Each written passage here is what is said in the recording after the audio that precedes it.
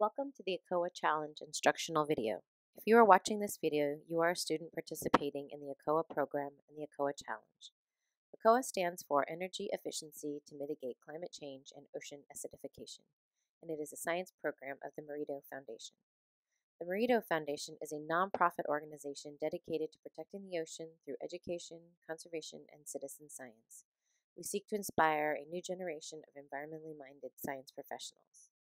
The EECCOA program involves in class and field based science activities and empowers students like you to address climate change by developing environmental business plans which propose a change on your school campus to make it more environmentally sustainable.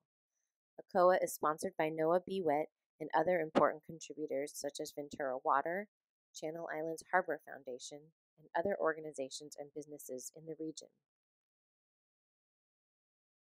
Step 4 The Method this is the step where you'll explain how you plan on reaching your SMART objectives. In this step, you will explain how you plan to implement the changes and what specific measures you want your school to adopt. If they are replacing or adding a device, you have to explain what it does, what the product is, and how they will use it, how many units they need, and how much it will cost for the products and installation. Explain what impact this will have. For example, show how you calculated how much they would reduce waste, water, or energy consumption how much money it will save the school. You should also include a budget of how much the changes will cost. Make sure you include the price of the devices, materials, cost of installation. A good budget will be specific as well. You will need to itemize the cost of devices and labor for installation.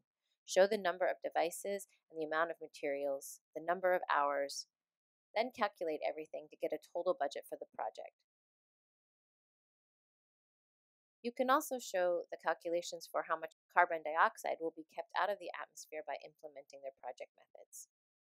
Because you need to include a lot of details, this step is worth 25 points.